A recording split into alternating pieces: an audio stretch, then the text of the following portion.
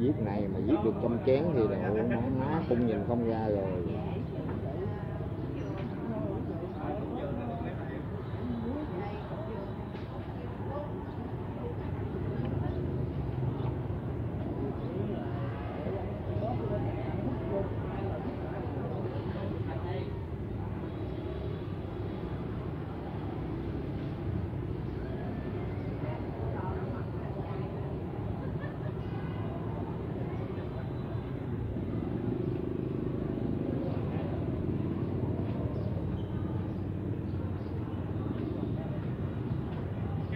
Bị bẻ bị lỗi bán nhiêu đừng có nói đầu xưa với đâu nữa nha.